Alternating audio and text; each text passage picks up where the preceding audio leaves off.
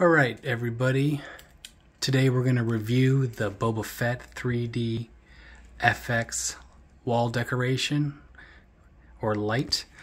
As you can see, I got this for my son's room. It's pretty cool.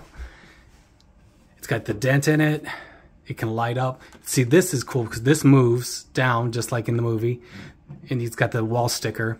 I screwed up though and tried to hang it a different way. And that's why this isn't sticking. But normally this would stick with no problem. So that's on me this time. But as you can see, comes through the wall. We're going to turn off the lights. And you can see it lit up.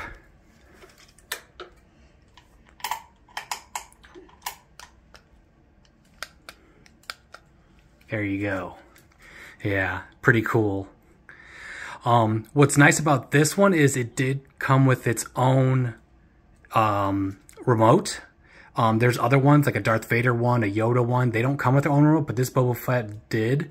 And the Boba Fett remote does work on the other lights too, which is cool. So if you want a remote, get the Boba Fett one. That way you have it. Um, but this has been the review. My son loves it. I love it. And uh, we'll see you guys next time. Bye.